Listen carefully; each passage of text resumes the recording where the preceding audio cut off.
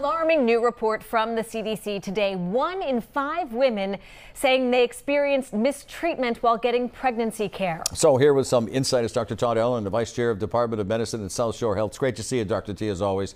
The report isn't, and now let's be clear, right? I mean, if I'm wrong, stop me. The, the, the report's not talking about misdiagnosis. It's talking about mistreatment, discrimination.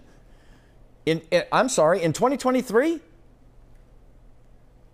Every mother deserves to be treated with dignity and respect. Maternal care is a central component of universal health care. This report from the CDC, it was a survey. It said that specifically pregnant women of color and those that lacked insurance or had public insurance were more likely to have no response for requests for help, more likely to be feel like they were scolded, not having physical privacy and being threatened to withhold treatment. Also that they were uh, more likely to have been threatened to, to hold back when, when, when they're asked specific questions. So really, this is an issue that we have to address. It's so upsetting. And so, and nearly half, Dr. Ellerin, 45% of these women said their experiences made them hold back from asking questions or discussing concerns with their provider.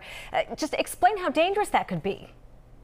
Well, first of all, Erica, what I want to say is our chief of OBGYN here, Dr. Kim Dever, she's been here for over 15 years. She says that she, there's a famous saying that she says that delay or deny and pregnant women may die. And that's important if they're less likely to get prenatal care, if they're if they're afraid to say that there's a problem because they're concerned about their interactions with healthcare or they're, they're maybe a problem. If they're bleeding and there's a delay in getting these women the help that they get, they can die. And here's an important fact the United States has the number one maternal mortality rate for industrialized countries in the world. That is a problem. It has to be addressed. Wow. Um, okay. And so, so you've, you've already mentioned it, but it bears repeating. The findings were much more pronounced among women of color.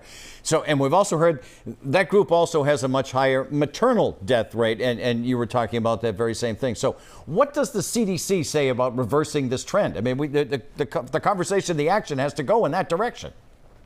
Wanda Barfield, who's the CDC head of the Division of Reproductive Health, and I'm going to quote her. She says, We know that racism and discrimination can lead to delays in treatment and sometimes tragic and preventable deaths. Healthcare provider trainings on unconscious, unconscious bias and culturally appropriate care may be a first step in understanding how to provide respectful maternity care to all women. What the CDC focuses on improved access to healthcare, address addressing those socioeconomic inequalities, promoting evidence based care for all, and very importantly, ensuring culturally competent and unbiased mm-hmm. healthcare services. Mm-hmm. Eddie, this is an ongoing public health challenge. Well, it's an eye opening conversation, Dr. T. It's great to see you. Thanks for your time.